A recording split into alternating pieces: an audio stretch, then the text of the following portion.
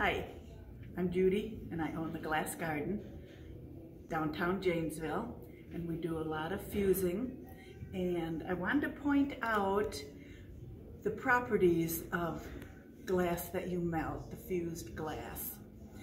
It's generally an eighth of an inch thick but when you melt it, glass wants to become a quarter inch. Don't ask me why, it's the physics of it. but um, if you only put in a single layer, it wants to pull up so that it's becoming a quarter inch.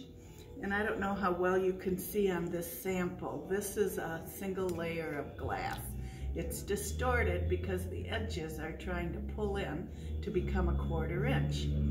And so that can distort your project. So you want to keep that in mind that you want to start out with a quarter inch. So that would basically be two layers of glass. Um, and this one is a full two layers and see the difference? It might not have been the same, quite the same size to begin with, but see how nice and straight the edges are. And so you wanna always keep in mind the difference from a single layer to a double layer.